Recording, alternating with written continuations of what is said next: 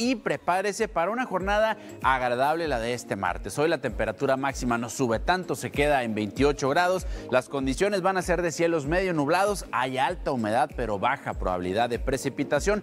También pudiéramos presenciar rachas de viento de 40 a 60 kilómetros por hora, según lo que informa el Servicio Meteorológico Nacional. Es viento de componente sur, es una sureada, o sea que viene de abajo, no es aire frío, es aire cálido. El día de mañana vamos a tener un incremento en las temperaturas considerable que se va a mantener hasta el día viernes. Estaremos viendo temperaturas de 34 a 35 grados como máximas de aquí al viernes. Posteriormente ingresa un nuevo frente frío que será el número 41 que llegará aquí al noreste del territorio nacional para el día sábado, trayéndonos descenso en las temperaturas y también incremento en la probabilidad de lluvia va a ser un fin de semana totalmente distinto. El día de hoy muy agradable, mañana comienza a subir la temperatura, nos mantenemos con valores cálidos hasta el viernes. El día sábado entra el frente frío trayéndonos descenso en la temperatura y el incremento en la probabilidad de lluvia. Hasta el momento para el sábado es bajo, pero el domingo ya es arriba del 40% y el próximo lunes estaremos viendo arriba del 60% amaneciendo en temperaturas otra vez posiblemente